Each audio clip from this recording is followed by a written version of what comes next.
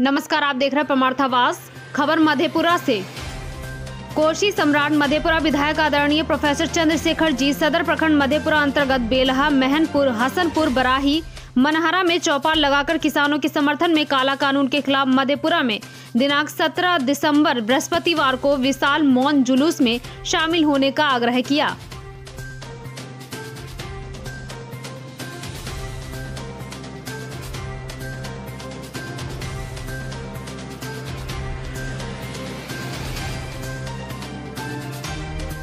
मधेपुरा से रामानंद कुमार की रिपोर्ट।